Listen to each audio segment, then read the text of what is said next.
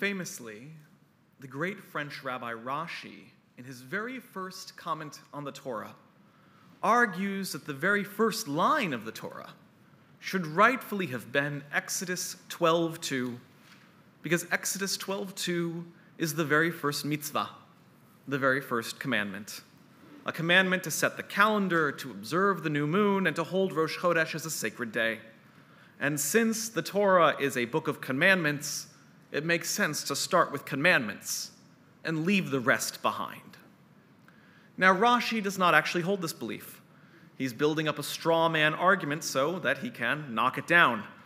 And that argument is ultimately this What is the Torah if not a book of law? Is that not the primary purpose of Torah? To be a codex of thou shalt and shalt nots, a record of priestly instruction, and a blueprint for judgment and justice.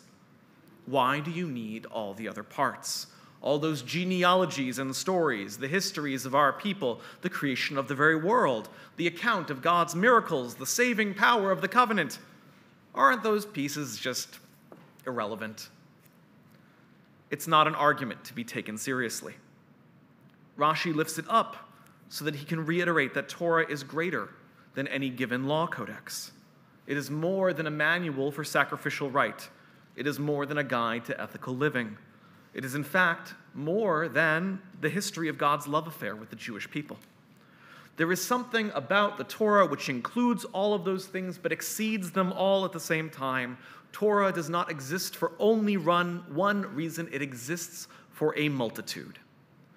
And so this morning, in the spirit of Rashi, I want to examine one possible reason that the book of Genesis exists a question and a teaching that I have been working on and thinking about for several years, and then one that I almost gave exactly one year ago to the day to the search committee of Holy Blossom Temple during the rabbinic search.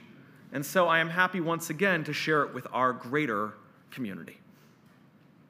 The very first question that a human being asks God is drenched in blood. Cain, the third person and the first murderer, responds to God's question, Where is your brother Abel? with a question of his own. Hashomer achi anochi? Am I responsible for my brother? Am I my brother's keeper? And while many of us read this line as a dismissal from a guilty conscience, an attempt to escape judgment, let us consider for a moment what it could possibly be like to exist at the very beginning of creation at a time before fundamental cultural ideas like communal responsibility, self control, or even family exist. And so, if we read this question, Am I my brother's keeper? as a genuine question, the way that a child does when they are caught doing something wrong, and that they can read the anger and the disappointment from the parent, but does not necessarily understand why they have made a mistake then we can understand that Cain is starting a dialogue that will take generations to answer. At no point does God actually answer Cain's question Are we responsible for each other? Am I my brother's keeper? Instead, God reprimands Cain for murder, but leaves the greater question of accountability unanswered. Ha shomer achi? Am I my brother's keeper? The issue of brothers who dislike each other, who in fact hate each other, will be a continued theme throughout the book of Genesis.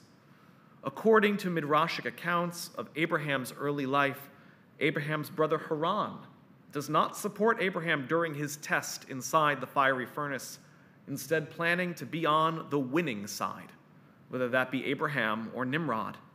He is indifferent at best to his brother's fate and Lot, his son, who is alternatingly himself both like a son and a brother or peer to Abraham, has a similarly knotty relationship. They are reliant but separate, they are close and then suddenly estranged. The best that they can do for one another is to go their equal, separate, and opposite directions. Abraham's own children, Isaac and Ishmael, are a step worse, and the text notes that they too have tension between them. The events which culminate in Sarah's dismissal of Hagar and Ishmael from the household stem from the boys playing together. And once again, various rabbinic sources ask what was the sport that they were making? Numerous answers, but all of them are wary. Boys play together all the time. Clearly, there was something troubling about this particular sort of rough and tumble that set Sarah off, determined to protect her son. They will come together only once more to bury their father, and then they too will return to completely separate lives. This worsening struggle between brothers becomes explicit in the next generation as Esau and Jacob are not only rivals, but in fact mortal foes. And as they worsen, Esau wishes that his father would die so that he could speedily kill his twin brother. Jacob flees, Jacob returns, and the brothers reconcile. And like their own father and his brother, they go their separate ways after burying Isaac.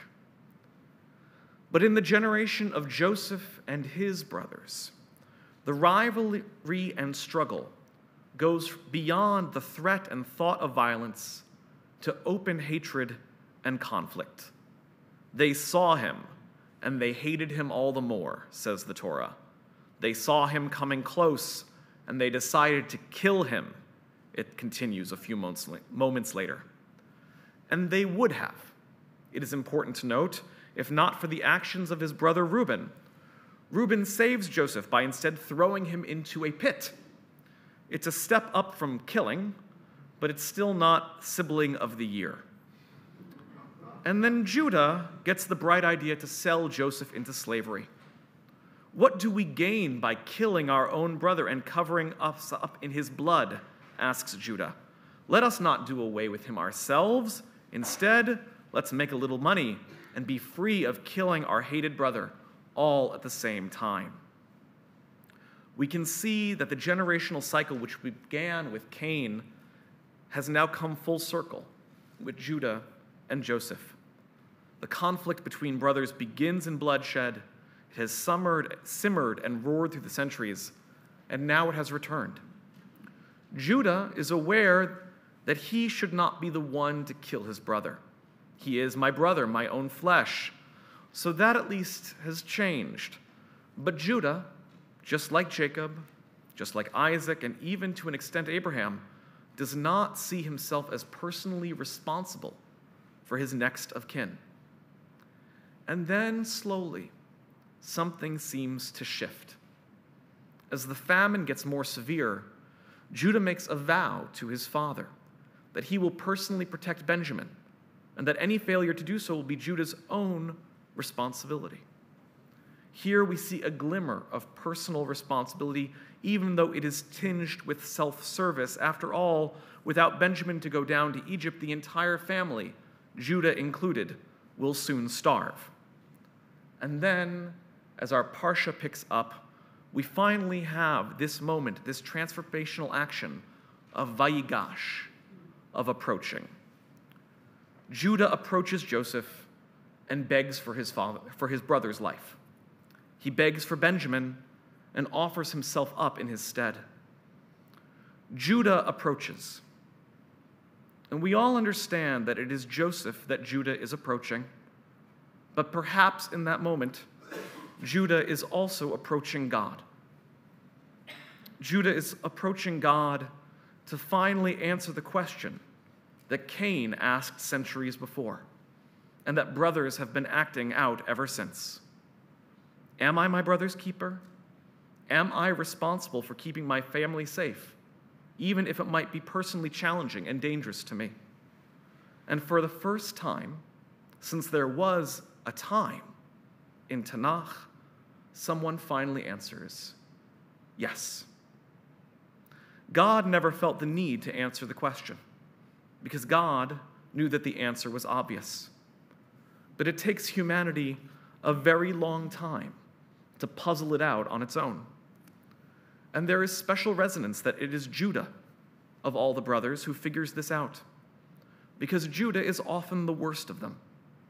Judah is the one who comes up with the idea to sell J- Joseph into slavery. Judah is the one who has a little vignette style story with Tamar, where we see that until he is caught out by her, he is not a particularly trustworthy nor ethical man. And sometimes it takes a person who has done a lot of damage in their life, who has inflicted a lot of pain, to have the perspective necessary to realize how broken a system is or how necessary healing needs to be. Judah approaches, and he approaches and answers the question that the book of Genesis asked us in its very first moments, that has taken generations to unpack, and that we have been studying consciously and unconsciously ever since. And perhaps that is why it is there in the first place. Perhaps that is why the book of Genesis exists at all to teach us these vital words Hashomer Achi Anochi. Am I my brother's keeper? We can translate it this way as well Hashomer Achi Anochi. I am my brother's keeper. Shabbat Shalom.